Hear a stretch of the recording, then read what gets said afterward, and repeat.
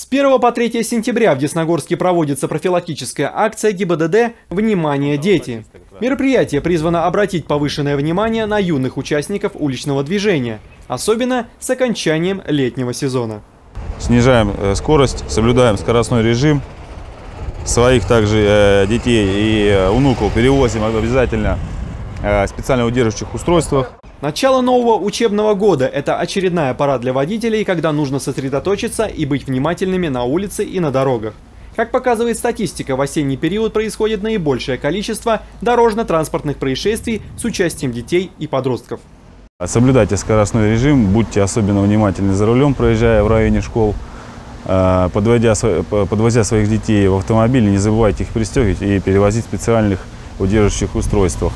Сотрудники ГИБДД также напоминают и родителям о необходимости обучения своего ребенка правилам дорожного движения и своим личным примером показывать их соблюдение.